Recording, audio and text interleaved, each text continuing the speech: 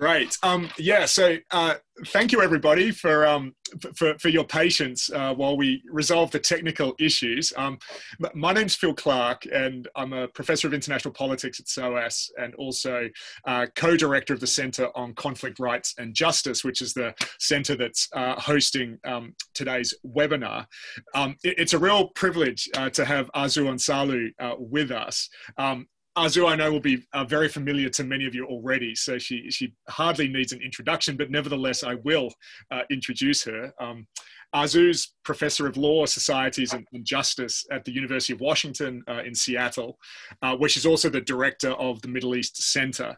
Uh, mm-hmm. she's uh, a, legal anthropologist um, uh, with a, a, PhD in cultural anthropology uh, from Stanford. Um, but amongst many other things, she's also a former asylum and refugee attorney.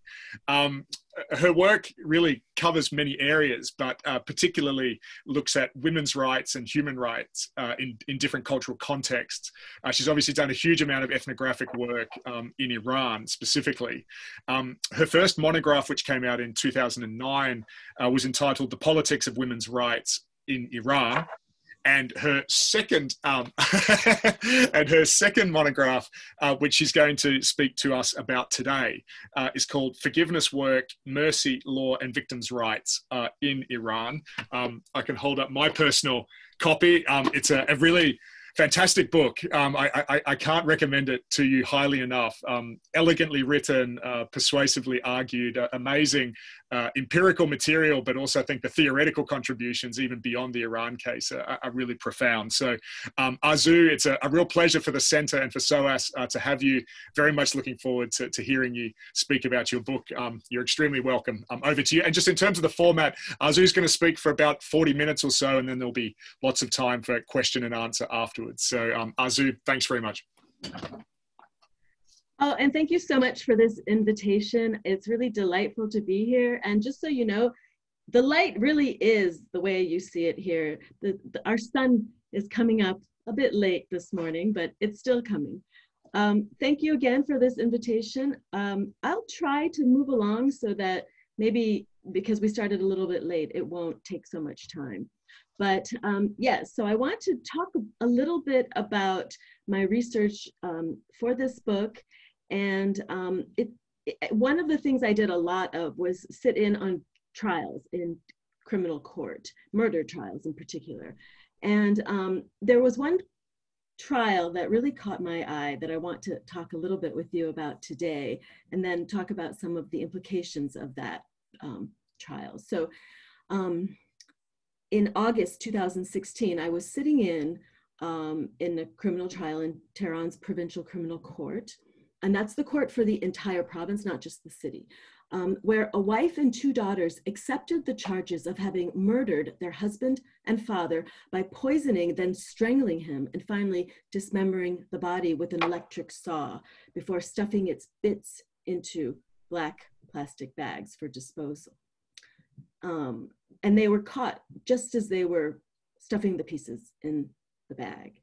Now, at the end of the nearly three hour hearing, the chief judge brought the trial to a close by having the plaintiffs, that is, the victim's brother and two sisters, and the defendants, that is, their nieces and sister in law, sign their testimonies. The judge then looked at the parties on both sides of the room and said, I think you need to talk.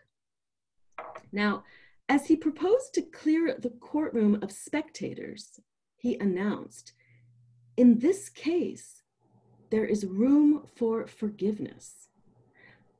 And so, with the parties' agreement, the chief judge, along with his two associate judges, stepped out of the role of fact finder to that of mediator, holding a reconciliation meeting between the parties in that very space. The judge aimed to avoid the imposition of the harshest sentence the plaintiffs could demand, qisas or retribution, which in this case meant death.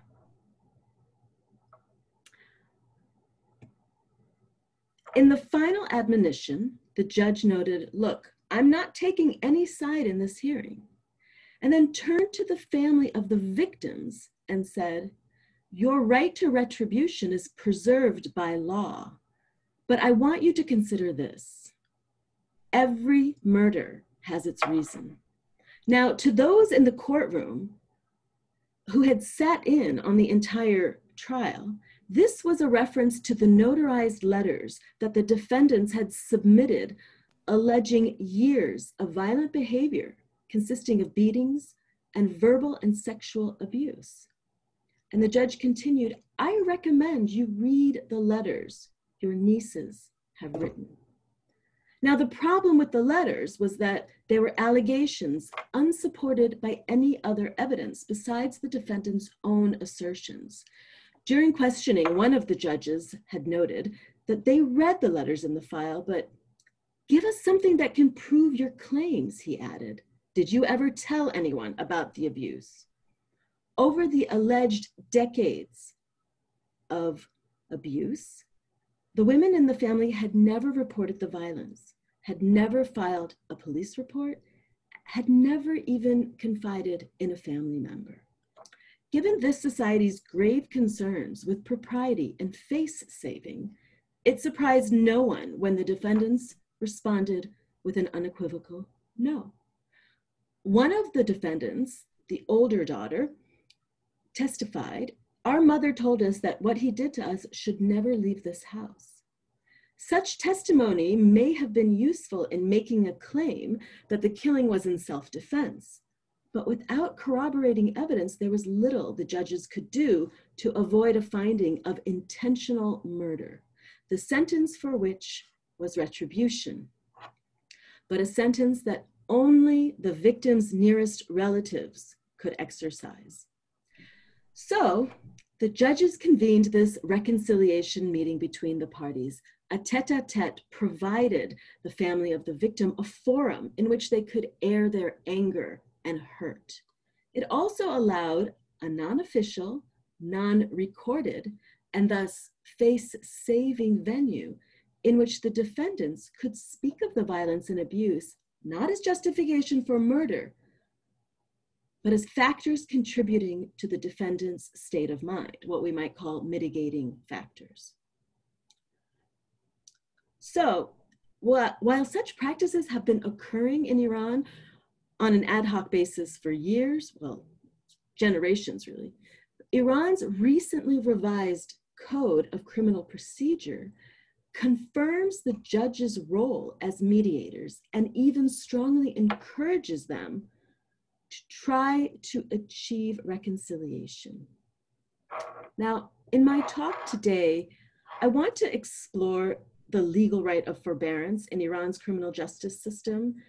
And I know that this forbearance is not something we often hear about with regard to Iranian criminal sanctioning so I wanted to understand how the codification of forbearance operated in that legal system in which the family of the victim possesses a private right of retribution. And by private right, I mean that literally it's a property right that, that, that is actually inherited. Um, and so they can exercise it or they can forego it. Now, this element of the system, that in homicide and numerous other crimes, not just homicide, retribution is literally the right of the victims, is little known and understudied. Much criminal sanction, uh, much research on criminal justice, not just in Iran or the Middle East, but just generally, suggests that people want revenge after the death of a loved one. And scholars have suggested that is exactly why we must not have a justice system that gives so much power to victims. So I thought this was an interesting case study to look at the implications of a system that provides this form of relief and indeed is a system in which the preservation of victims' rights is at its very core.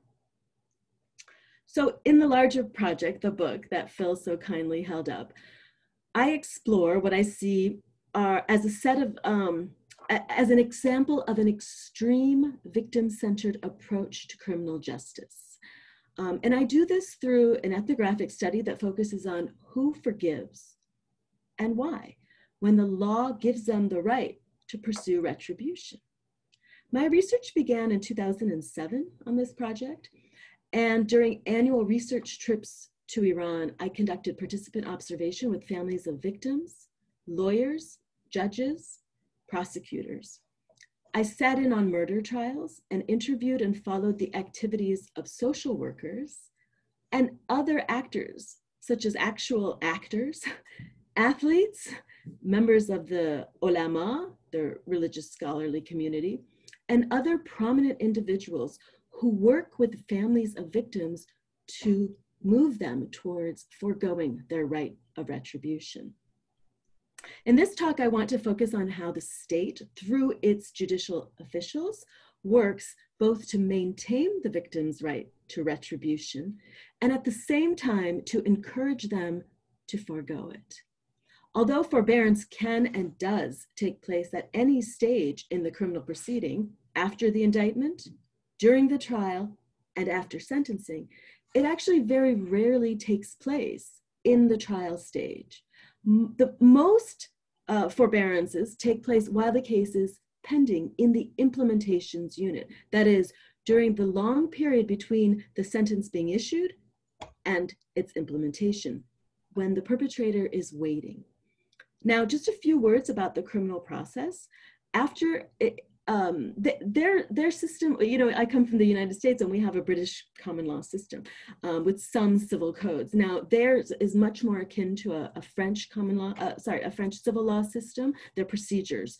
So after a judge in the criminal court issues the sentence of qisas, retribution, therefore validating a finding of intentional murder, the case returns to the prosecutor's office and the file is then sent to this implementations unit.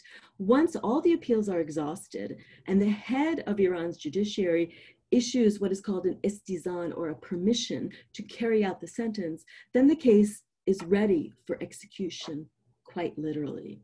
And it is in that period that it that judges, all of these forgiveness workers actually aim to stretch out the period in which the, the uh, sentence is actually carried out.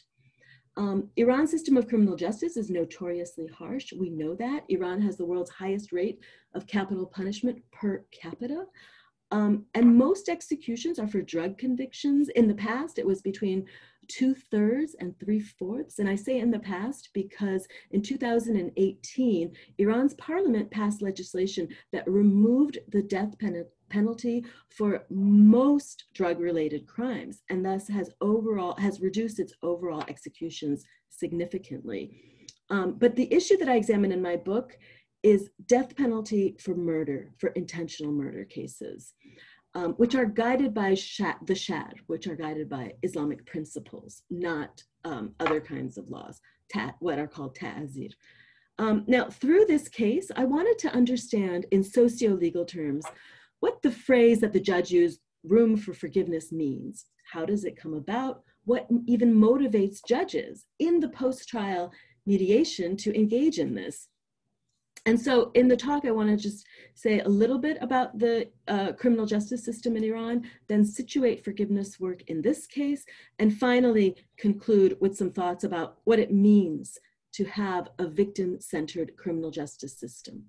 So as many of you may be aware, after the 1979 revolution, Iran's leaders rewrote the national laws to conform with Islamic principles as they saw them and major revisions to the criminal laws in 2012 and 2015 actually finalized those codes for the first time. Um, but they did confirm particularly severe retributive sanctioning, which we do hear about quite often. At the same time, they strengthened and enhanced the possibility of the plaintiff, uh, plaintiff's forbearance, which they derive from the Muslim mandate to be merciful and compassionate. And there are specific provisions, um, uh, uh, chapters, verses in the Quran that are the basis for this. And if you're interested, it, one is chapter 5, for, uh, verse 45, and the other is chapter 2, verse 178. And so the codes of criminal procedure so th there's the substantive law that is based on these um, religious obligations to be merciful and compassionate. The codes of criminal procedure also create this is new, what I call an imperfect duty on the part of government officials to work to bring about reconciliation whenever possible. So that means the penal codes, the substantive law, recognize forbearance as a right. And the Code of Criminal Procedure call on government agents tasked with carrying out that substantive law to do so with an eye towards achieving the greater goal of reconciliation. And there are numerous articles in the Penal Code and the Code of Criminal Procedure that lay this out, that make it clear. Now, this moral and legal obligation notwithstanding, there are virtually no guidelines regulating how officials and others should go about attaining forbearance. Nor do the codes specify any specific group or agency to do this work. Hence, my question about the judge's motivations to engage in forgiveness work. This tension between the compulsion to seek reconciliation and yet no guidance on how to do so has proved to be a productive one. And this is actually how I start thinking about all of this forgiveness work that I see going on. Over the years, numerous groups and individuals, political and non governmental, have intervened in murder cases and others that I, I don't talk about in the book. Um, but they have intervened in these cases to which they are not parties with the aim of bringing about reconciliation between victims and perpetrators. And the absence of meaningful guidelines alongside a manifest moral and legal duty to forgive, I argue, has generated an informal cottage industry of advocacy that engenders numerous avenues for negotiating forgiveness and forging reconciliation. And I use the term cottage industry intentionally because I want to highlight the informality of the system as well as its ritual forms that engage and actually, you know, fill up this lack of otherwise other guidelines, right? The, the, the use of ritual forms engage what is now a flourishing complex of activity or industry around forgiveness, especially when it comes to capital punishment. So in thinking about co the cottage industry, I draw on Sally Falk Moore's notion of semi-autonomous social fields. Moore proposed that a field be studied through its semi-autonomy, the idea that it can generate rules and customs and symbols internally, but also that it is vulnerable to forces outside as well. So this semi-autonomous social field has rule-making capacities and the means to induce compliance, but it is also set in a larger matrix of who can affect it. So Moore developed this approach to study distinct groups within pre-existing social arrangements. And she, she observed that in these fields, legislation is handed down by centralized governments and it encroaches on the social fields that already have their own rules and customs. But I'm suggesting something slightly different. In this case, it's the legislation itself, which in some important ways forges this social field, the forgiveness industry, if you will. But the important contribution of Moore's approach here is that she says studies in the nature of the autonomy and the quality of their self regulation might yield valuable information about the processes of social life in complex societies. And this is, I think, what drew me to this, this uh, work of Moore because we are able to learn something about how, in an absence of guidelines, the, these um, self-regulation could happen, and we're looking at a complex society, unlike what she was doing. So by employing this approach, I, I want to better understand the processes that create this industry for forgiveness work, as I call it, and also condition the granting of forgiveness by the families of victim, by uh, victims. And then, of course, there are the judges who are duty bound by law and scriptures. And so now I want to go back to the meeting, the reconciliation meeting. With the room cleared, there remained the parties, the judges, there are three of them, the prison guards, the psychologist from the Juvenile Correction Center, because one of the perpetrators was under the age of 18, two social workers who were present at the request of the defendants, several journalists from local newspapers, and myself, the researcher. So that's with the room cleared.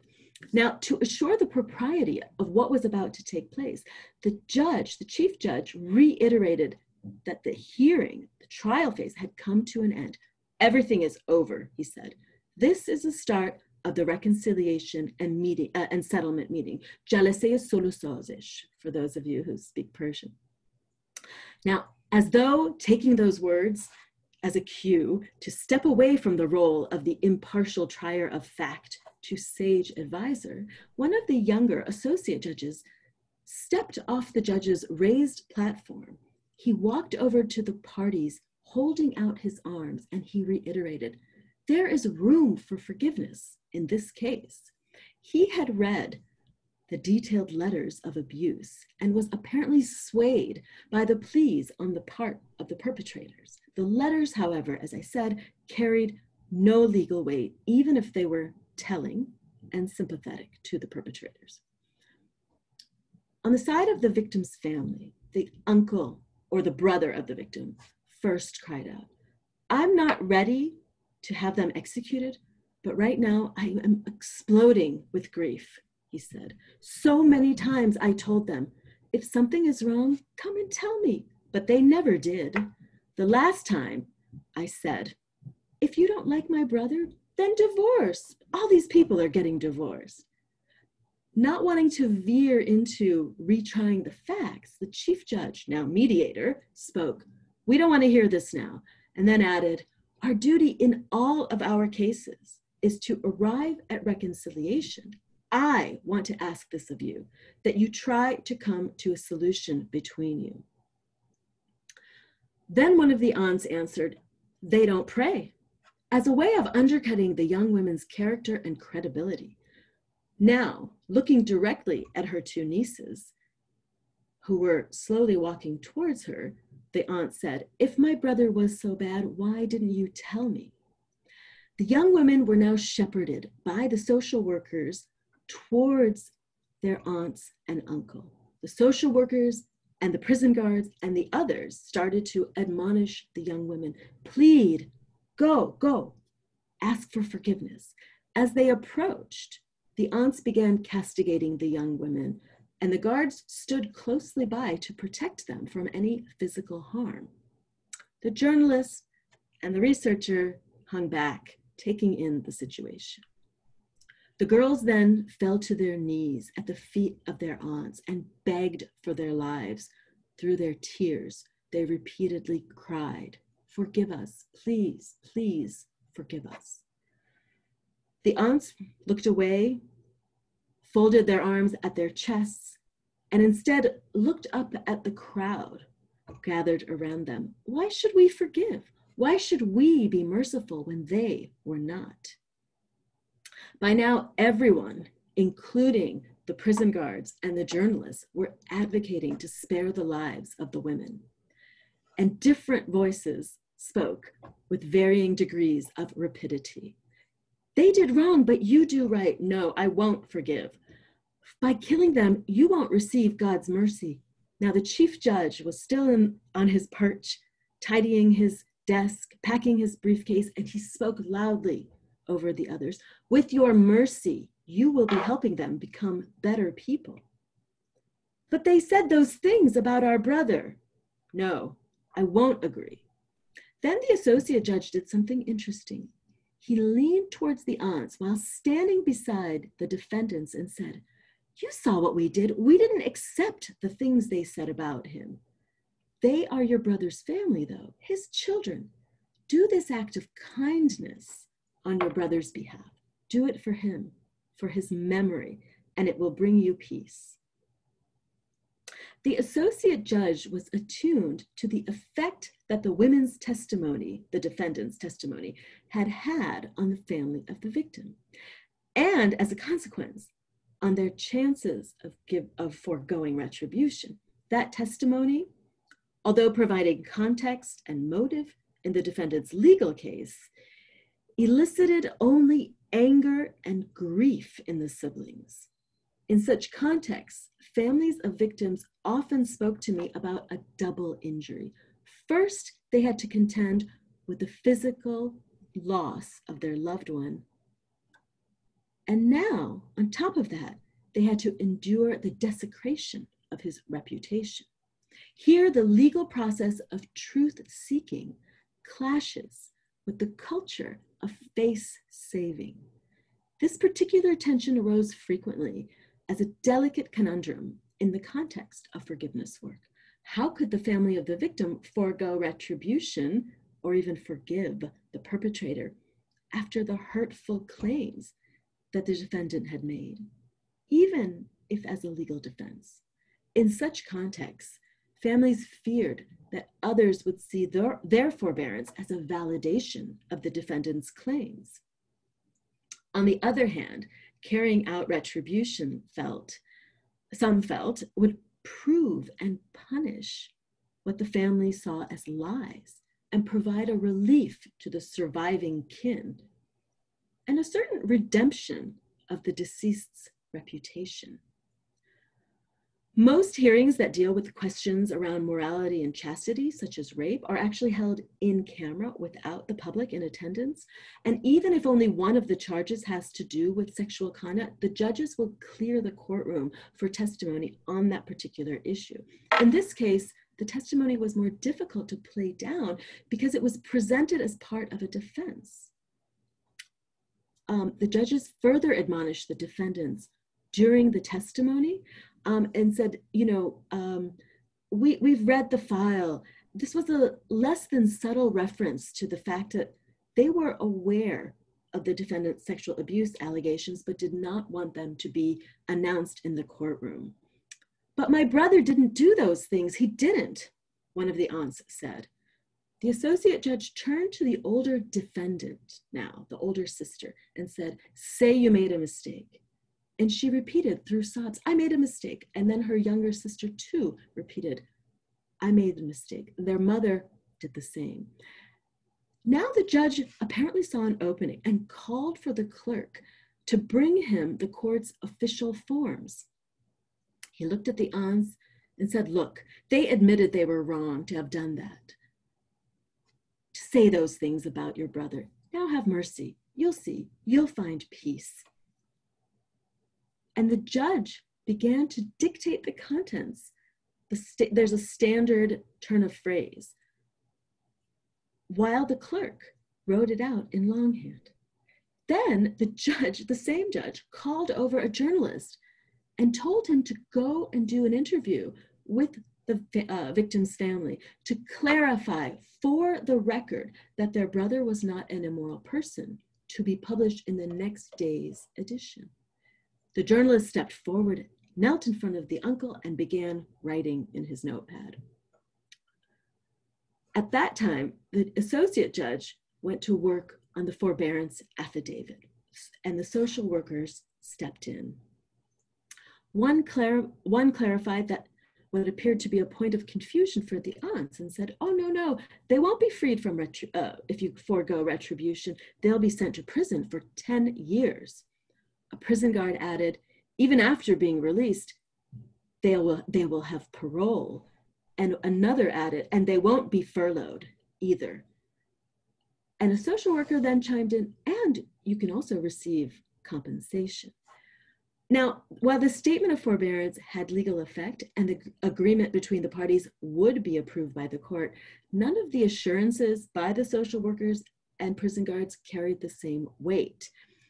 Um, the uncle expressed uncertainty about taking compensation, and the associate judge came back and said, You don't have to keep it. You can take compensation or you can give it to charity. And then one of the social workers added, But let them pay something for what they did. Finally, upon the approval, the case would be remanded back to the same court for sentencing, now not for a murder crime, but for the public offense of disturbing peace and security. And the maximum sentence for that was indeed 10 years minus time served. There was still no guarantee that the defendants would actually receive all of that. Um, nevertheless, the time had come to sign the affidavit, and the judge pushed it in front of the, the aunts. And wh- what it says is that each member of the family who has a private and individual right to for, uh, forego uh, to retribution says they will forego it without doubt or reservation a legal term of art that would not invalidate uh, the agreements uh, extrajudicial agreements between the parties that include things like compensation um, the associate judge extended the document to the aunts and said do it for god sign the first aunt signed, then the judge handed it over to the other one. And I'm asking this of you. Sign. The chief judge called over. The judges were aware that their words carried tremendous weight. Besides having judicial authority, the stature of judges, especially the respected ones, carries with it moral rectitude as well. Meanwhile, the young women, the defendants, are on their knees, wailing now out of a cautious relief.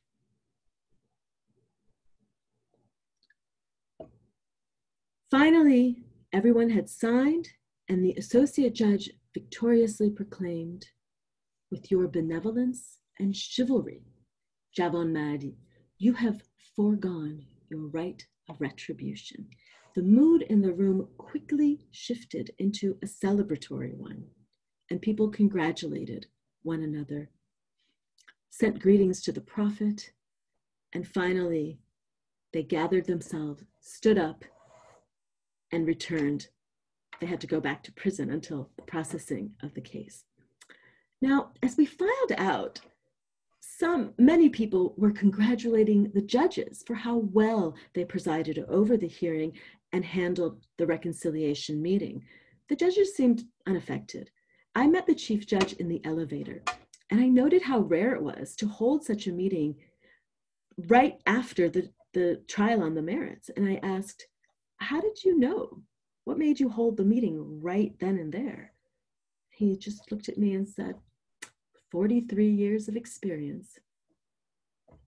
So a few days later, the associate judge um, was a bit more forthcoming. And he said to me, I knew the, defend, uh, the, the plaintiffs, by their hesitation, were open to foregoing their right of retribution. He said, When I asked them what they want to do, they replied, the uncle especially he, this is the judge talking said I, he, the uncle had said he didn't want retribution and the judge added i knew these were not the type of people to carry out qisas. Since I knew they would eventually forgive, I thought we could just finish it right then and there.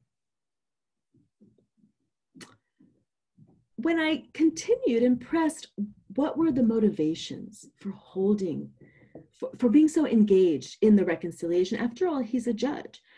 He replied, This is both in our religion and in our laws. And this phrase, in our religion and our laws, is one I often heard in the process of carrying out this research.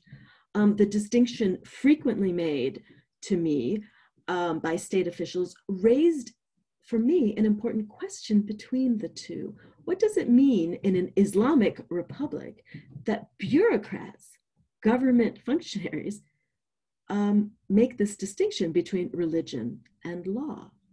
In Iran's Islamic Republic, it is government representatives who have the final and definitive word on state laws based on their readings of religious principles. So the distinction between religion and law is important because in the final analysis, law is a question of state sovereignty. Ultimately, the state's monopoly on law and its interpretation overtake the heated debates and nuance found in Islamic jurisprudential thought. Thus, in this context, the fact that the judge points out his religious duty as significant um, I, am sorry, the, the fact that the judge points out his religious duty has significance because such an obligation suggests a concern with ethics derived towards uh, derived from a duty to God, which is not sublimated by or reduced to the worldly concerns of the state's monopoly over legitimate violence. In other words, the law. It remains, however, that what is being adjudicated in criminal court is not law and not, uh, sorry, it remains that what is being adjudicated in criminal court is law and not shad Islamic principles. Rather, the court's process, processes reveal how law conceals by its very codification the ethical attributes, the room for nuance, the space for debate implicit in Sharia Islamic principles, while at the same time securing the state's sovereign authority over the people. While the scholarly debates in the seminaries of Qom and Najaf highlight the changing, fluid, and evolving nature of the Sharia, their codification as law ossifies the principles and disassociates them from their ethical underpinnings, the very basis of their fluidity. It is us, uh, sorry, it is thus left up to the individual judges, the better trained among them to be sure, to apply a skilled ethical discretion, taking in the ethical foundations of the Shad into their application of the criminal codes. The ossification and inflexibility of law is apparent in the codification of the homicide crimes for which there are three categories and only three categories, I might add intentional murder, unintentional murder, and quasi intentional or accidental murder. As one defense lawyer told me, this is a big problem in our law. Judges are forced to give the ruling for intentional murder when it is not always so. Few exceptions exist in the law, but the revisions to the law, these more recent revisions I mentioned, permit some argument on the part of lawyers that there were circumstances to mitigate a sentence of intentional murder. So, what I'm trying to say is that the legal code constrains the law. And for the first three and a half decades of the Islamic Republic of Iran, the emphasis was on a reinstitution of the foundational aim of preserving the right of the victim's family. The new revisions to the laws, however, offer increased flexibility, discretion, and even some alternative sanctioning. While the judges cannot forego the qisas, the retribution, private right of qisas, and the law constrains them in their sentencing with the, in this respect, particularly due to the overly broad definition of an intentional murder. Their discretion, however, is broadened in their duty to seek reconciliation. And, you know, I grant you, discretion can be problematic, but discretion is broadened in the context of forbearance and the duty to seek reconciliation and to bring the parties to a settlement can offer possibilities for forbearance at any and all stages in the sanctioning process, from the original arrest and investigation to the indictment, the judgment, and later even the implementation. So I just have like a few pages left, but I'm going to just try to quickly say what, what I think this means. Um, if we look more at the idea of codifying mercy, um, we want to situate legal forbearance in the context of this changing and standardizing legal process, which creates this problematic, if you will, the duty to reach reconciliation while preserving the victim's rights to retribution. Um, th this idea, this system, um, recognizes that loss or injury to a loved one creates a private right of equal justice. And there are two important points to take from this. One is that it's the family of the victim who is the victim here. Sorry, that makes no sense. Okay. The family of the victim decides how to dispose of that right. It's their right. Second, the state sees its role as preserving that right. So it's actually a very classic liberal move that the sovereign harnesses the authority to preserve the peace by mediating over disputes. So the judici- judiciary's role, thus, is one of harnessing and regulating that space for settling accounts so people don't go out and take revenge into their own hands. So the state claims the monopoly on legitimate violence by requiring that any payback take place within its processes and by giving private citizens the right to ask the state to exercise that violence, the state does implicate them in its own logic for settling disputes, regardless of whether they exercise the right or forego it.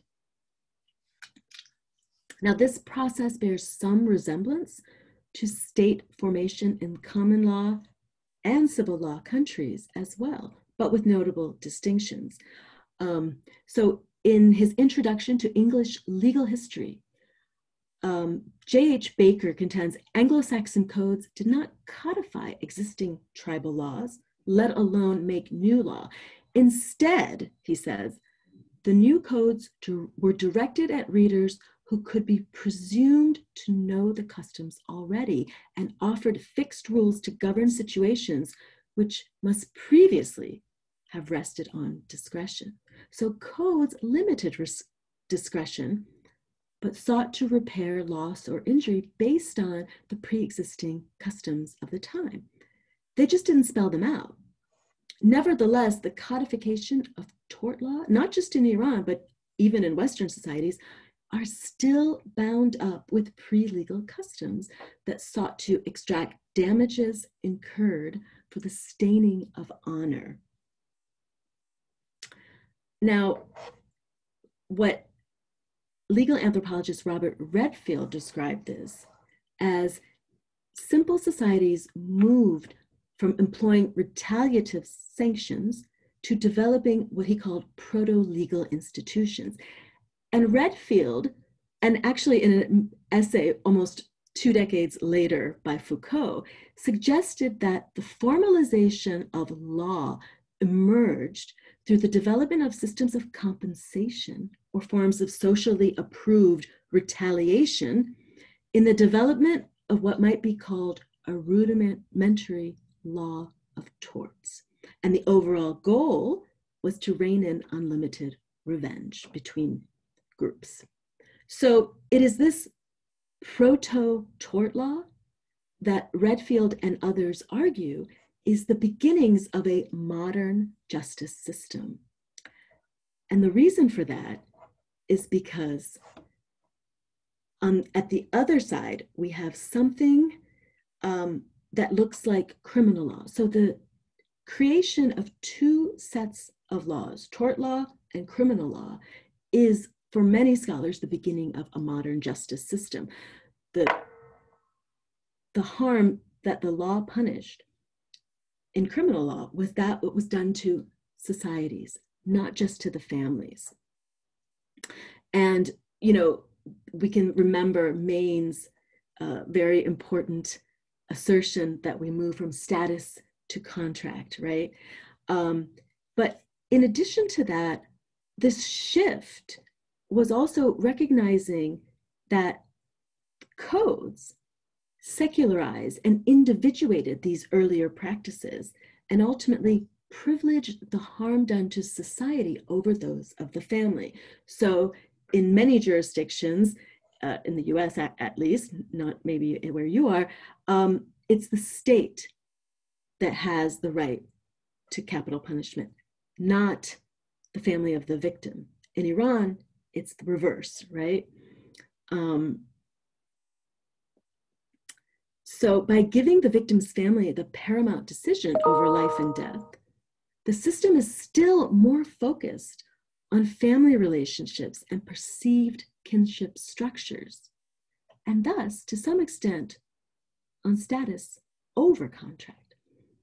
One of the effects of this is that the emphasis on honor is much more explicit than in contemporary Western context, which I have a separate article where I argue that we're also very concerned with honor, but since it's not written into our codes, it's much more implicit. The Iranian system's emphasis on the injury to the victim's family not only has the effect of accentuating the social importance of the family's honor, but it also serves to entrench the perceptions of gender roles that emerge from them.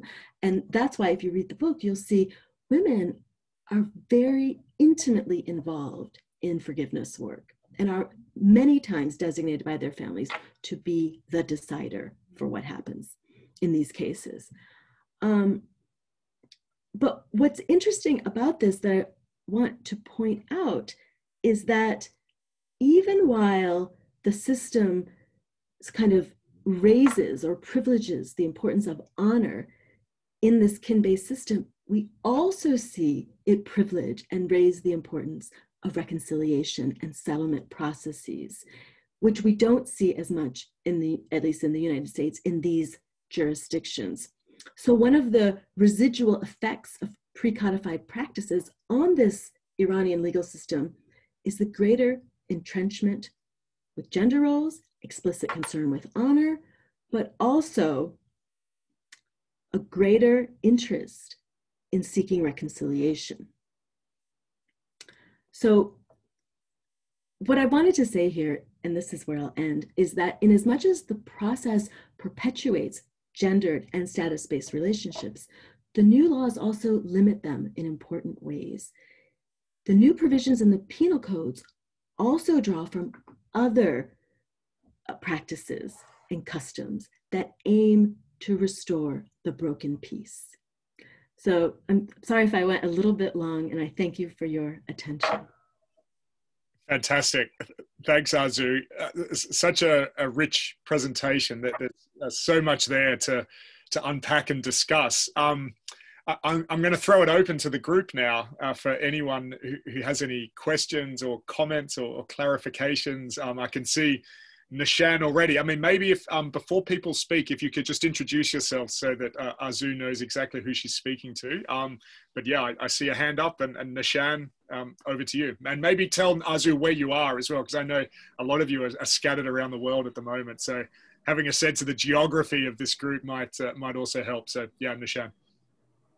Yeah, uh, hi. Uh, so I'm in India right now at the moment. So uh, so my question is that uh, when we speak about this retributory form of justice, which is served out with, by Iran, so uh, you spoke about the fact that how the victims are getting the right to decide whether uh, who, whether there should be capital punishment or not. So isn't that kind of creating an uh, isn't that kind of uh, creating more conflict within the victim and perpetrator because if if a certain uh, if a certain victim chooses to use the power of capital punishment but the other one chooses to forgive isn't there that creating a division in society and a certain inequality between uh, two different murder victims? Great do you want to take that Arzoo yeah i, I just want to make sure i understood the question. So uh, when you said doesn't that uh, create inequality between different murder victims? But you were also yes. talking about within families or not? Yes, yes, exactly. So like uh, if within families, a, if a certain family member is uh, is given capital punishment and another one is spared, so that is there is clearly a uh, division there because this when the state is deciding, they're they're deciding on the basis of uh, mitigating circumstances and aggravating circumstances. Thank you. Thank you for your question. Um, so I, I I, I understand your question, but I actually want to open it uh, in two ways. One, in one murder case, there are multiple family members, and every single family member must forego their right of retribution in order to spare the perpetrator. And that's already a huge debate within families. And then what you're talking about is the unequal application of law in the context of giving the families this right. And it's it's so interesting that you asked this question. So a lot of people in um, sort of my legal scholarly friends in the United States said the same thing to me. And I actually asked several judges, and I asked, um, I was in Qom, which is the jurisprudential capital in, in Iran and much of the Shi'i world. And I said, what, what do you say about this? And the judge said, well, you know, in the US at least, so I can talk about the US, that's what I know he said, well, every state has different laws. How is that not unequal application? So criminal law in general is not uh, federalized or standardized. So we have 50 states and every state has their own. We have states that don't have the death penalty. We have states that do have the death penalty. Um, we have states that have a moratorium on the death penalty. And he said, he, so that's that, what, what that judge said about application. Then another judge literally the, the next morning came to me with a printout of an execution and this is in my book i can't remember but it was uh, uh the state of um, i don't remember alabama or georgia or something they had or virginia anyway they had executed a man who in, in the us this was in 2015 i think who was deemed to have had an iq below um, 70 or something and he said, you know, this is what what you what you know, where is this? And, you know, and they they reference the the um, high rate of uh, incarceration by black and brown people in the US. Like I was surprised how well they knew what was going on.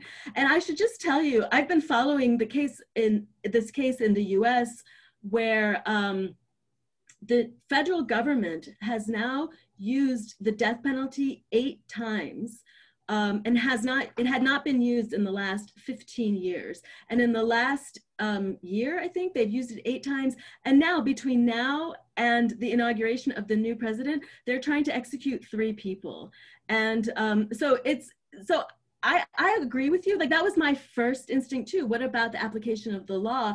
And the judge's response was that what? Why do you assume that the state applies the law evenly, but families of victims can't. And in fact, they argue that they're the victims, they're the closest to the injury.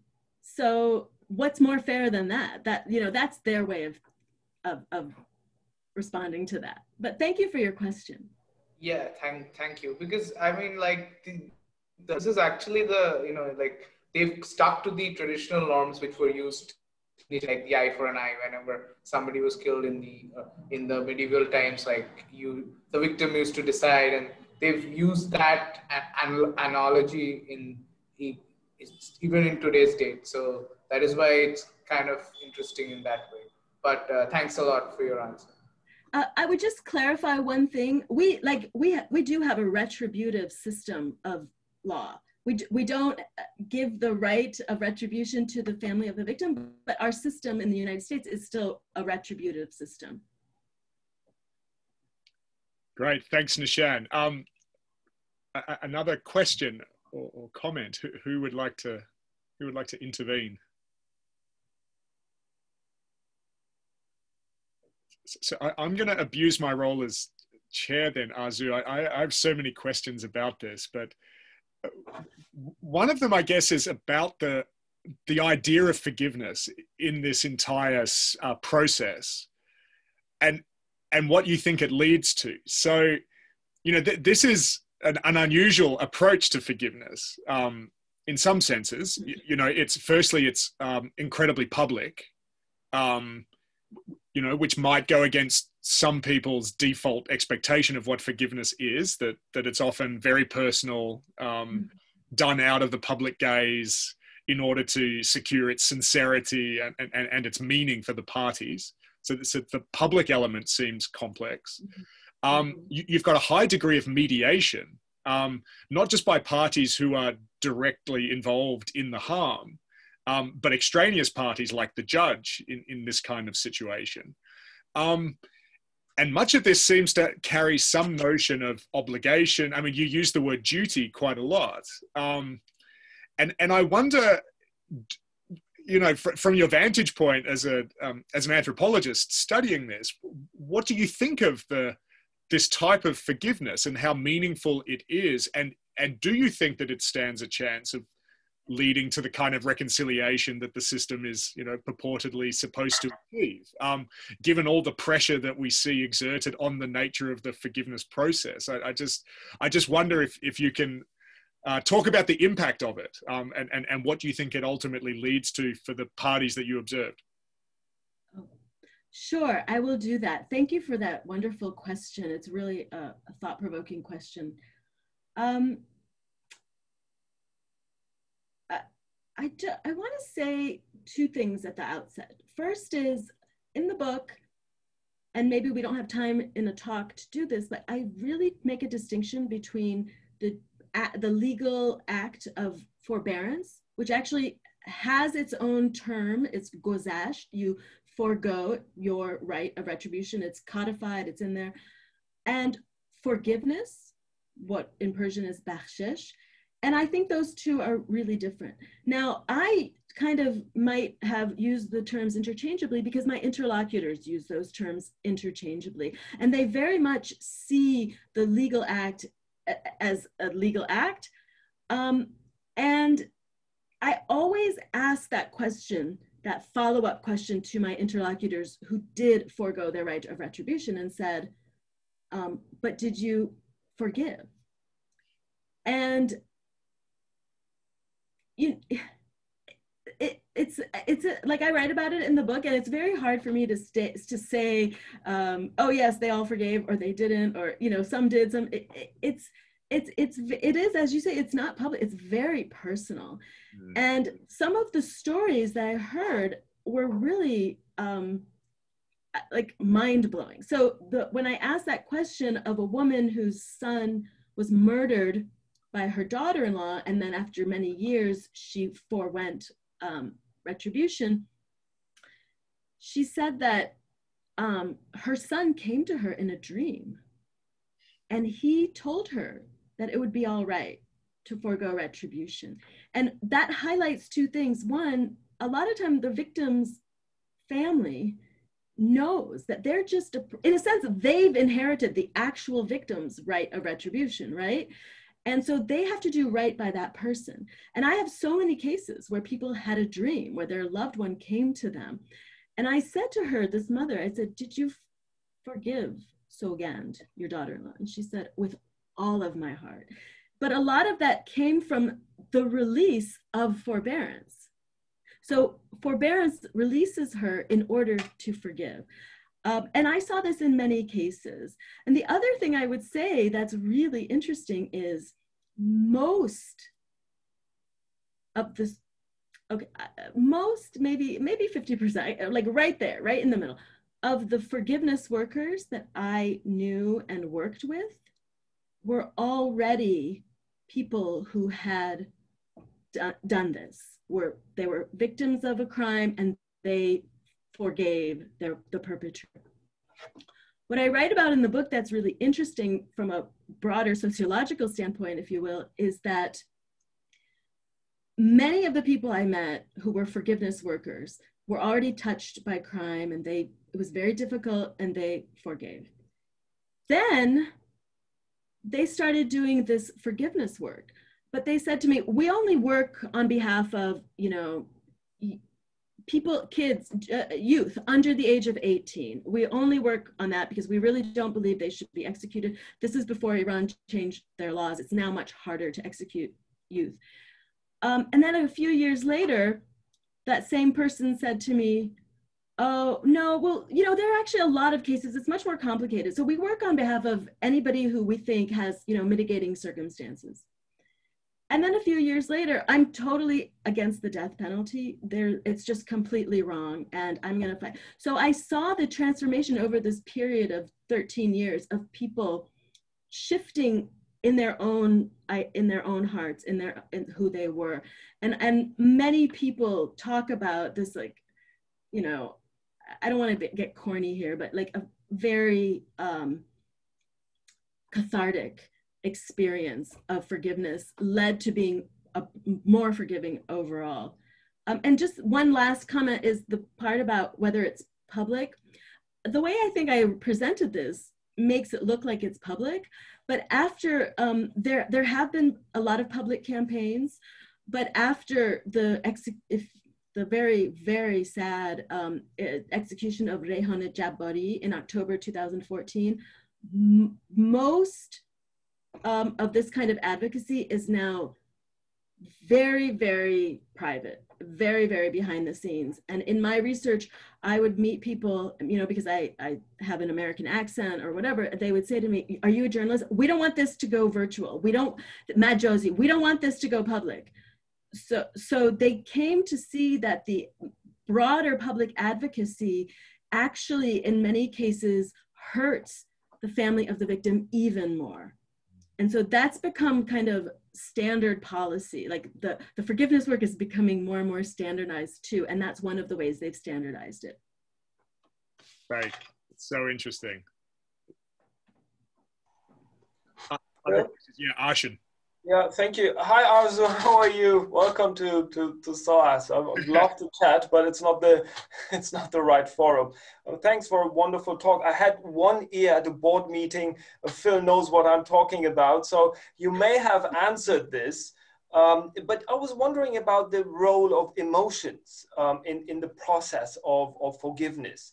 It seems to be such a charged atmosphere. And you i really envy you that you were right in there uh, you know to feel how how these how these people were, were processing these these you know enormous uh, emotions. So has there been any research in that in that regard? And if not how did it feel to you um, when you were there? Did you feel that you know there was this this ability on an individual level to rationalize this this process or was it was it more about about emotions um, yeah it's fascinating i would just would love to to know what you what you thought about this Oh, uh, that's a wonderful question. Thank you so much. Um, I write a lot about the emotion, and um, there's. I'm so glad you said that. Like, I, I worked really hard in this presentation to try to make you see how emotional it was and what a charged atmosphere it was. And you see, this is a, a very maybe subtle strategy on the part of these judicial officials. What they want is to use the courtroom, the Çarşamba space here of the state to allow the anger, the grief, the emotion to be expelled. And um, even I think Wael Hallaq in one of his books has also written about this, that this space is intended the, the, so that's why there's this demarcation there's legal reasons for the demarcation between the trial where you don't want to show too much emotion but there's also the Jalise Solusajis, the reconciliation meeting, where that's where they want you. They want people to scream and cry. And, you know, the prison guards came to, because they were afraid the aunts were going to hit the girls, but, you know, no physical violence, but seriously scream and cry and beg and plead and say what you want. They try to open this space to do that. Um, I, I had a meeting with the um, head of the uh, Juvenile Corrections Center. And it was very interesting because I asked him if, you know, he had any experiences with this and he has a PhD in psychology himself. And he would hold these reconciliation meetings in his office. And he told me this story. It took place over seven years of trying to get this family to forego retribution for a, a, youth under 18 who had killed someone in their family. And then he told me the story in the steps. You know, he brought them to the office and he brought both, he would summon both parties, and a lot of them do this. And as he was telling me the story of how, like, they, the first meeting, like, they fought, like, it got even worse. And they, the last thing they said was, now I'm definitely going to execute. I wasn't sure before, but now I'm definitely. And I said to him, Didn't you feel bad? Weren't you worried? And he said, no, this is the process, the expiation that needs to happen. And we try to create a place for it. Um, and, and their idea is that if they do that, we'll get closer to forbearance, but at the same time, it will prevent the likelihood of violence that, you know, taking the violence into their own hands and going out into the communities.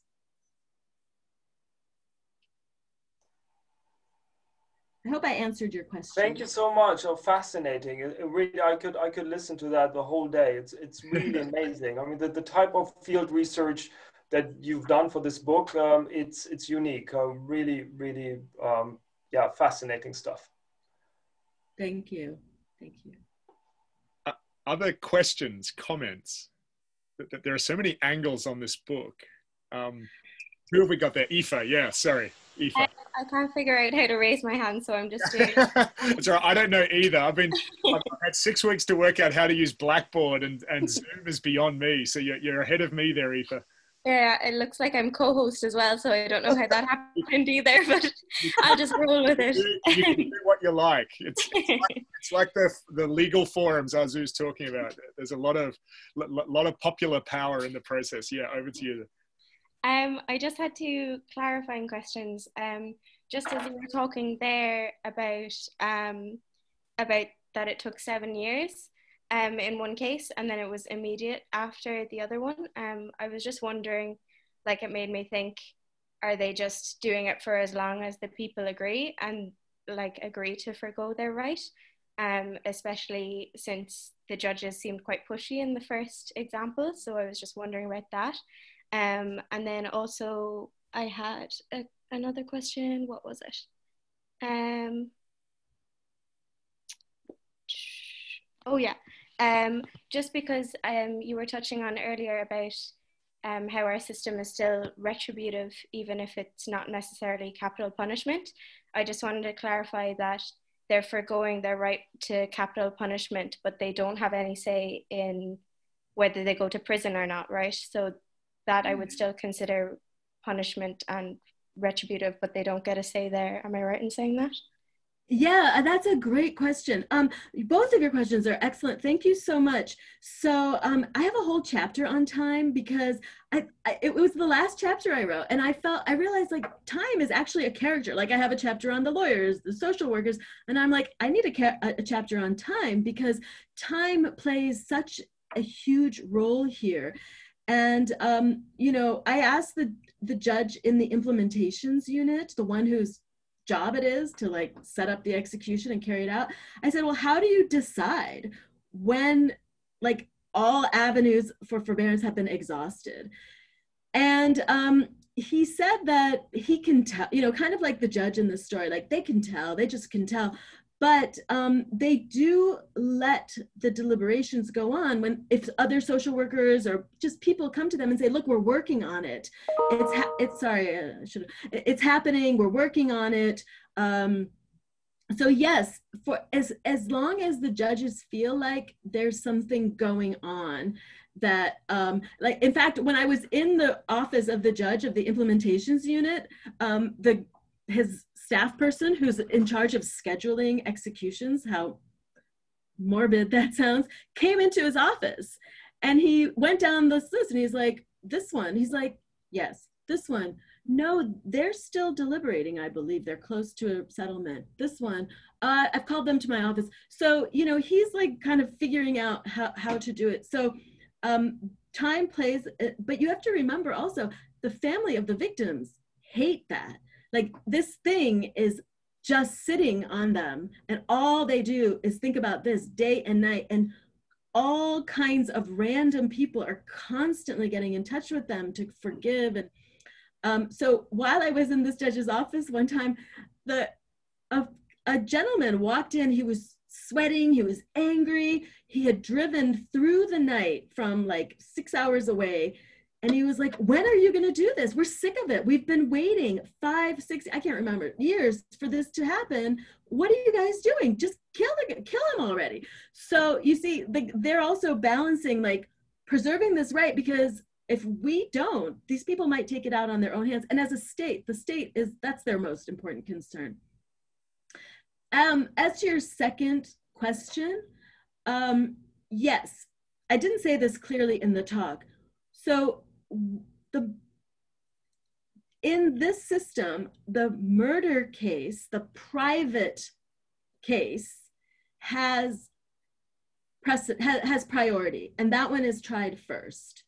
If there's a forgiveness, forbearance, then you have the um, the, the state sanctioning, which is not for murder, it's for disturbing the peace. And the maximum sentence for disturbing the peace is 10 years. And um, in the US, for example, it's the opposite. So the state prosecutes the trial and the state has the death penalty. If they don't, you know, reach the, that decision, the family of the victim can then sue for what we call unlawful death lawsuits, and they get, you know, a monetary injury sum. So it's actually the the order is different, but there are the two processes both exist. I don't know. Are we out of time? I don't want to. I feel bad. Like we started late. People might have things no, to do. it's fine. I, I, I was going to see if if there were further comments or questions. Um, I, I have I have so many. I, I I was looking down my list. I didn't know where to start. I, Can I just say one thing about the last question too? Uh, it is, it's really interesting. So in the new criminal code, if the family hasn't made a decision, so this brings your two questions together. If the family hasn't made a decision within 10 years, the, that, the perpetrator has reached the maximum state sanction for prison. So now they can actually petition, put up some kind of security, and get out of prison. And the family still hasn't made a decision. And I said, well, what happens if the family, like on the 11th year, says, oh, we changed our minds? like technically they can do that. Like that's really bizarre to me but that's in the new law. Because sometimes families just they don't want to make a decision. They don't want to forgive a, the killer of their family but they also don't want to be responsible for executing someone so they just do nothing. Sorry go ahead one of the things i was interested in Arzoo both in your presentation and also in the book is I mean, the I mean, Arshan's right. Your empirical material's really breathtaking. I think the the ethnographic depth, the, the examples, that, but also the long engagement that you've got with a lot of your interlocutors. You can tell there's a real sense of trust there. You follow up on these cases, you kind of watch them all the way through. And uh, I, I wondered about where your findings go beyond the Iranian context. So because you, you have a lot to say in the book about the theoretical uh, relevance of, of, your findings. Look, and I, I ask this because I guess in the politics department at SOAS, one of the things that we're interested in is how how concepts travel across time and space, um, and and and how understandings of concepts like justice and forgiveness and mercy and forbearance in one particular context might still have a resonance beyond that context. Even the concept of law, I think, is heavily contested in, in the work that you're doing. So I, and, and you do talk about this in the book, so I know you've got an answer for it. So um, I just wondered if you could say something about that, you know, where you see the, the relevance, the significance of your work, even beyond the very particular context in which you did all of that amazing ethnographic fieldwork. What's the answer in the book? No, just kidding. I don't, I don't even this is the pop quiz, yeah. Uh, is it a good answer? Um, so this is a really interesting question. I'm coming from, I'm in a country that has not had diplomatic relations with Iran for 40 years. I'm in a country that has unilaterally sanctioned Iranians, Iranian people collectively. Um, and so it's it's an odd question from my standpoint that people would think that they have something to learn from the Iranian system, if you will. But um, you know, I'm surprised sometimes by people like some of my own students, and one of them is here, Bori. Hi. Um, when they ask me questions that are so um, like sincere and earnest and really interested in the, the kind of thing that you're talking about. What can we learn from this? And what I can tell you is, um, you know, from our days in Fetzer Institute where we worked on forgiveness, um, there are a lot of cases in the US where there is no um, possibility of forbearance. In the criminal trials and murder trials in the United States, there have been cases, actually many that Phil and I have come across because of uh, that, that other project we run, where families of victims want to forgive the perpetrator, but there's no room for forgiveness, if you will. There's no space in which that has any kind of impact or effect. And that was actually one of the ways I, I was able to do this project. Like I would tell judges, they were like, are you a journalist? You know, that you just want to expose our human, our, our murder capital stuff. I said, people, like everybody already knows that. Everybody already knows that you guys execute people. what people don't know is that there's forgiveness in the system because we don't have it in the United States. And when I said that, that was like all hands on. That's when I got access. And there have been a lot of cases where people want to forego retribution in the United States and it doesn't have any legal meaning. Now, to be more precise with regard to your question, um, I have a colleague in my department who works with lifers who are on death row um, and they uh, i'm sorry they're not they're either on they're they're lifers they're on uh, they're on they're not on death row they're in prison for life and a lot of them wish he says they could just be executed because it's like a double death sentence one death sentence is being sentenced to life in prison and the other one is that you die in prison so it's a double death sentence and a lot of times he told me that people not not the lifers necessarily but sometimes come up for a parole hearing to be paroled after spending 20, 30 years in prison. And you know what they say? The family of a victim comes to this meeting and says, you, you didn't even apologize. You didn't even say you were sorry. And what's really interesting that I didn't know is that in many of these cases, the perpetrator is prohibited from contacting the family of the victim. There's actually what is called a no contact order. So then the family of the victim comes to oppose the parole eh, because the person never apologized.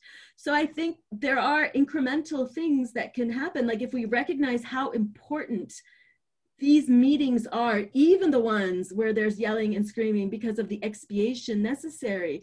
Like I want to yell and scream at the person who did me wrong. I don't want to come home and it's not enough to like come home and yell and scream at somebody else. Do you see what I'm saying? So yes, I think these avenues exist. And um, uh, just quickly, there was a very interesting case in Florida where a young man, you know, because people have guns in America, killed his girlfriend. They were having a fight. And the family of the victim, who were about to welcome this young man as their son-in-law, um, they wanted to forgive him. They're very Christian, very religious, and religion plays an important part. And they held, they had, they had a mediator come in, not a religious mediator, but a, a come in, and they had a circle, a forgiveness circle, and they wanted Colin to tell them exactly what happened. And the the mother of the victim was sitting right next to Colin, and she said, like, what happened? And he told her, I shot her. And and she said in her book that she was hoping he would say it was an accident. And what's more, like then like initially she said she thought maybe he should have like 5 years in prison, but when she realized that, she thought no, he should be in prison for a longer period. In addition to that, the prosecutor was a part of the circle. And as soon as Cullen said that, he got up and left because he just got evidence that he could use against Cullen. So it, the way that that worked wasn't so great. I, I think Colin ended up getting 25 years in prison. So there's so much more I think that we could talk about, but I, I think we have um, re reached the end of our time. Um, the, the, only thing I think that's left to say is that, um, uh, yeah, Nishad. I had a question. Yeah, I had a question. Yeah, if you could keep it short, because um, yeah, yeah, yeah, sure, sure, sure. Yeah, so uh, my question is basically uh, you spoke about how religion has to play a, a big part in the execution because uh, I'm not really conversant with the Sharia law, the Islamic principles, whether uh, whether uh, death penalty is accept, how much it is accepted, and uh, whether the, under the Islamic fundamental principles, whether killing of another person is is right or wrong because as as you're aware in the US, like uh, the, there are pro-life Republicans who are against the death penalty, and there are certain pro-life Republicans who are for the death penalty. So uh, so that's what I was wondering. So how is how does it play out in the case of uh, the Islamic law? Uh, that's actually a very interesting question, and and it's it pre it's exactly what creates this quandary on the part of the perpetrators. Uh, killing someone is 100% uh, prohibited in Islam. However, if you are the victim or you know the family of the victim of someone who's been Islam does according to the people who've interpreted it this way give you this right of retribution and at the same time encourages forgiveness, forbearance of that retribution. Now, just one caveat as I said in my talk, these concepts in the Sharia are debated in Qom, in Islamic seminaries. What I'm telling you is the state law, and there's a very important distinction to be made here because when I go to Qom and Najaf, you have you see papers, you see scholarly journals. There are dozens of scholarly journals in Najaf on just this topic. And one very famous, um, highest ranking scholar, um, uh, Faqi, no, sorry, uh, you know what I'm talking about, the, the highest ranking scholar, his, his name is um, Bayat Zanjani. He said to me that, you know, I went to see him and he said, well, like, what do you know? Prove that you know something. And I talked to him about the provisions that give the right of retribution. And then he quoted an Arabic saying that's in the, the Quran. I don't speak Arabic, Persians don't speak Arabic generally, but the Quran is written in Arabic. And he said, What do you think that phrase means? And I said, It's the right of retribution. He said, No. It means you follow the story. Qisas what people say is retribution comes from shares a root with qisse, story. What, what, what it means to follow the story means you need to have a procedure, criminal procedure. There needs to be a process. It doesn't mean you have to kill the perpetrator. So even on that point, there's tremendous debate. When I've talked about this to my Western Islamic law scholars, they told me that that guy in Qom doesn't know what he's talking about. I actually believe the guy in Qom. So even, but what, what I want to say is even there, there's debate. So. Thank you. Thank you so much. Fantastic, Arzoo. I mean, as as you can see, the, the conversation could, could continue for a very long time, but unfortunately, I, am going to have to draw this to a close. Um, look, once again, people, um, get a copy of forgiveness works. It's you, you, your host isn't doing his job if, if he's not helping you at least try to shift a few copies of the book Arzoo. But look, it's a fantastic book, um, and, and everyone can tell that from the just the, the, the, quality of the presentation, the richness of the material, the, the clarity of the thinking. Arzoo, this has uh, really been a fantastic discussion. We're, we're really grateful for you giving up time, um, especially very early uh, in the day um, on, on a Tuesday um, there in Seattle. But uh, th- thanks once again, and uh, we, will undoubtedly have you back at SOAS, uh, probably to talk about your next book, which I'm sure you're working on already. So um, th- thanks again. It's been a, a real privilege. Thank you for your attention. I mean, I know this is really really hard and I am really grateful to the invitation and all of you for participating, staying late, starting late, all that stuff. And hopefully for the next book we can have you in person in London. That uh, that that would be ideal. I have to write another book to get invited. Okay. That's how about an article? it's a tough it's a tough gig here. It's a tough gig. Thanks again, Arzoo. Really fantastic. And thanks everybody for, for coming. Thank you, Arzoo John. Thank you. Thanks. Thank you. Take it easy. Thank you. Thank you. See you Thank soon. Bye bye.